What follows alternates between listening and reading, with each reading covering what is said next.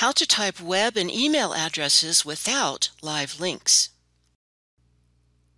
Hey everyone, Debra here, and in this video I'm going to show you how to turn off the thing that makes a URL that you type turn into an active live hyperlink.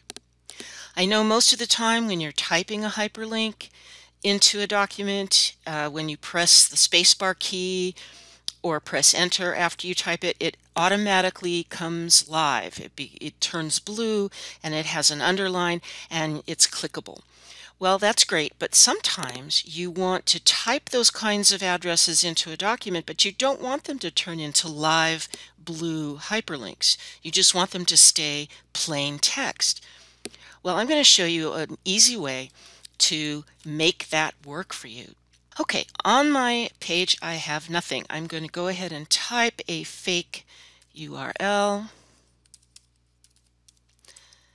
Okay, and when you do, you know, when you type it with www or .com, uh, especially with .com, and then press the spacebar key, it automatically turns blue and has this underline and it's clickable. Of course, this particular one, I just made it up. I hope it doesn't go anywhere live.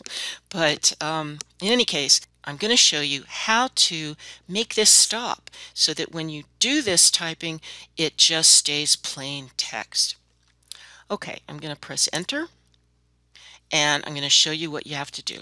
Well, first of all, I want you to know that I'm using a PC computer with Windows 10 and I have Microsoft Word 365 as my software. Uh, of course, this will this probably will work in uh, previous incarnations of Word. I don't see why not, but um, in any case, that's what I'm using. So first, you go up to the far upper left-hand corner and you click File. That takes you into what's called the Backstage view. Okay, then what you want to do is click Options. Now in my case, my menu over here on the left hand side doesn't have options showing. So I just have to click More and there's the rest of the possible choices. So I'm going to click Options. Okay, once you have options open, by the way, um, Word options, this whole page and all of the different menus that it has, this is how you set up Word to work the way you want it to work. Okay, so uh, I'm going to go to the proofing page next. So I'm going to click proofing. Then I'm going to click autocorrect options. Now this is where it gets interesting. There are several tabs across the top here that you can pick from. The one you want, there are actually two you have to work with. One of them is this one, Auto Format as you type. So I'm going to click that.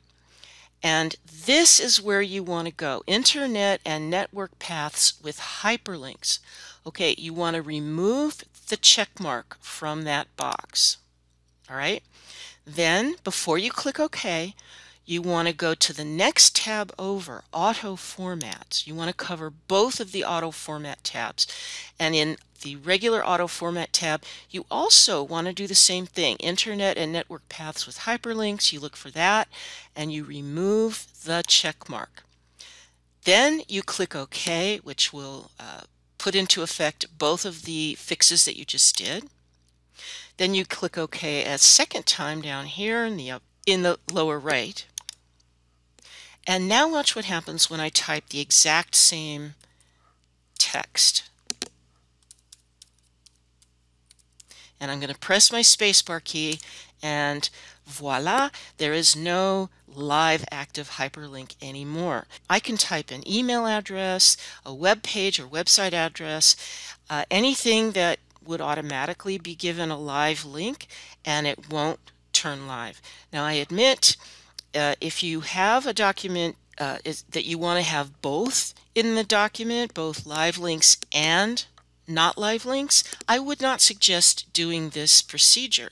Instead, uh, what I would do is I would uh, do the document, create the document, let the, all the live links happen, then go, go back through the document and in any live link you see, that you don't want it to be a live hyperlink, right on or you know, place your mouse right on top of it, anywhere on top of it, and right click. Click the right hand button on your mouse, get that shortcut menu open, and just go right here and select remove hyperlink. That's probably a lot faster than going back into the backstage view and options and auto format and doing all of that. And so that's how you do it.